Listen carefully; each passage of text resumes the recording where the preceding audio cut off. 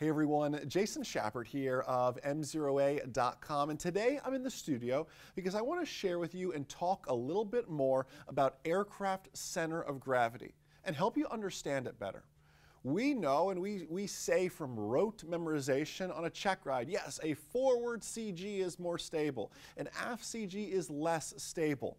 But do we know and understand why?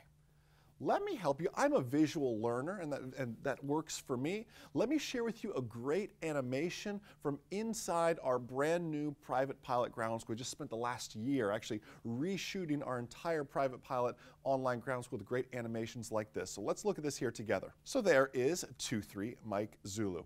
Now I want you to remember that the center of gravity is the point at which the aircraft will balance. It's what the aircraft literally moves around. It's that center of gravity there. That's a nice forward CG. It's said to be more stable. Now, if we move that more aft, like you can see there, we are inherently less stable. Why is that the case? Well, let's now look at our actual model here of 2-3 Mike Zulu. If we say that an aft CG is less stable, why is that the case? Well, it all has to do with leverage. It all has to do with that station arm. Let's think of an extreme scenario, like a spin. If I enter into a spin, what's my spin recovery procedure? Power back, ailerons neutral, and rudder opposite, right? And then elevator down to, to help break that and get the airplane flying again. Everything hinges back here on this tail. It's very important to us.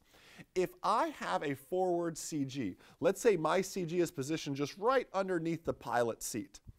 The distance from the CG back to the rudder is a very long arm. I have lots of leverage, lots of rudder authority, you could say, thanks to that long arm, the distance from the center of gravity back to my tail section. Now, if I have an aft CG, let's put it back here behind the baggage compartment now. That arm is much shorter. Will it still work? Yes, but I have less power, I have less leverage. Think of it this way. Why is the door handle on the door in the room you're sitting in right now, why is it so far away from the hinge on the door? Well, it's to get leverage, right? What if you took that door handle and moved it right to the middle of the door? Could you still open the door? Well, yes, but what would happen? It would require more effort, more strength on your part because you've shortened the arm. The hinge hasn't changed, but the location of the doorknob has changed. We've shortened the arm, we've shortened the leverage.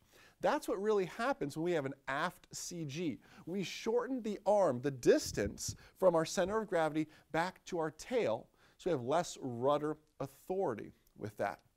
And I love sharing these great little animations, just quick, easy tidbits for you here on YouTube, on Facebook. I hope you're loving these videos. Hope you'll subscribe to us on YouTube, on Facebook, so you continue to get those great updates. I can't wait to read your comments below this video on Facebook, on YouTube, on m0a.com. Enjoy the rest of your day, and most importantly, remember that a good pilot is always learning. Have a great day, guys. We'll see you.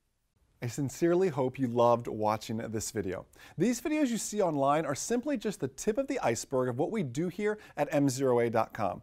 M0A is a complete private, instrument, commercial, and FOI online ground school. Everything is done at your own pace online. You watch our lessons, also online, take practice exams, all from any device.